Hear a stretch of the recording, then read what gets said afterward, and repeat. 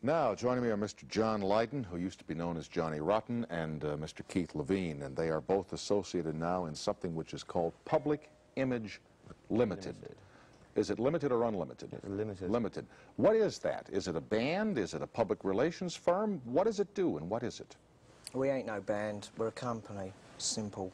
Nothing to do with rock and roll. Doodah. Doodah. Yeah. Okay, it's a company, not a band. Simple. What kind of a company is it? What does it do? It's Just a communications lot. company. Huh? It's a communications company. To facilitate communications, how? Videos, movies, soundtracks for films, we hope soon. Sometimes we perform live gigs, that depends on how we feel. Just about anything that's available. When you perform a live gig, do you bring musical instruments to it? Yes. So far, Well, but you said it's not a band. it's a company. Company. Would you rather Companies not? can mess about with musical instruments. There's okay. no limits. Would you rather not talk about the company? No, I'd like to talk about it. I beg your pardon? This is why we are here. Well, I want you to talk about it, and I've made five passes at it, and so far I'm not Well, getting surely anywhere. You've And I, studied your history of us. I mean, come on, prompt. well, I- Do your business. uh, well, uh, We're jet lagged. I've asked you Humour us. what kind of a company it is, and you've said it's a company that deals in communications. Well, it's simple, right? We'll do anything that we're offered if it's worthwhile. So, like, uh, at the moment, me and Keith want to dabble with film soundtracks. Dabble with film soundtracks. What does that mean? I don't know what Well, that is. We started off with Public Image Limited. We didn't want to be or have anything to do with rock and roll. So we thought being in a band and doing gigs wouldn't be the thing to do. I'll have a cig. But we, um, Would you like a cig? See, We I'll, ended I'll up find a way to an your heart yet, tour. fellow. I'll tell you. Here.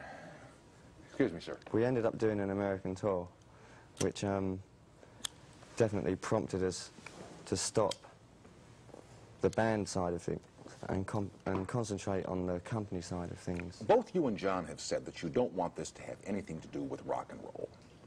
Why do you dislike rock and roll so it's much? dead, it's a disease, it's a plague, it's been going on for too long, it's history, it's vile, it's not achieving anything, it's just digression. They play rock and roll at airports.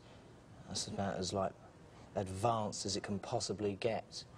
But there it's was a too limited. but there was a time when you didn't feel It that is way. too much like a structure, a church, yeah, but there was a, religion, a farce. a time when you did not feel that way. What made you no, change? I've always felt this way. Even when you were with the, with the Sex Pistols? I wondered when you'd get round to that one.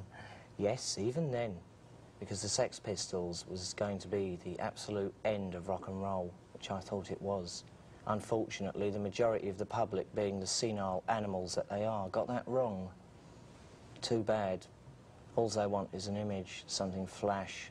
Where did the name the Sex Pistols come from? Who thought that name up? Some animal I can't remember. It doesn't matter. It's history.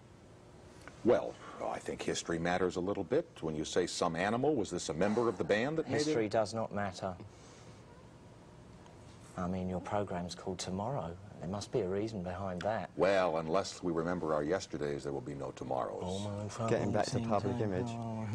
Beg your pardon? Getting back to PiL, Oh, to public image. yeah, we were saying we learnt from our yesterdays and our recent American tour that it was embarrassing to go on stage and do gigs because um, it's it seems to be an old-fashioned format to go on stage with guitars and play loud music. I mean, I'm definitely into loud, annoying music, but um,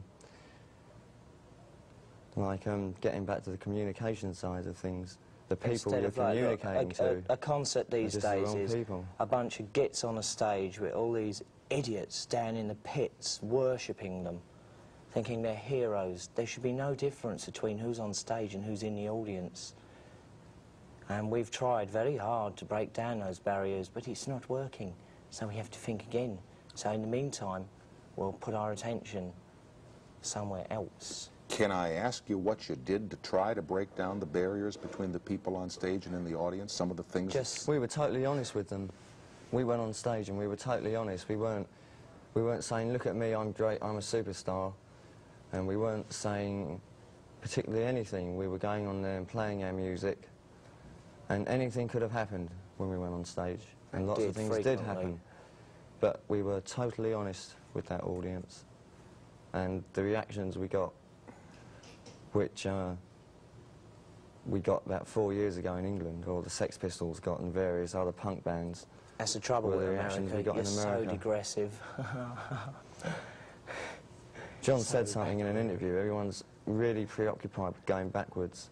And I think the reason it's a good idea not to be a rock and roll band and to concentrate or direct our energies as a company is because Well, look to the It- future, right? It doesn't look All like right, it. then let's have then, much then of one all right, boys and then let's girls take out it. there Then in let's the US of A. Then let's take it to the Hi, next. A pop hero nowadays, I hear. Excuse me for talking while you were interrupting. I have to do a couple of commercials here. We'll Humour me. continue, uh, not for long, with this fascinating discussion right after these announcements. Isn't this fun, gang?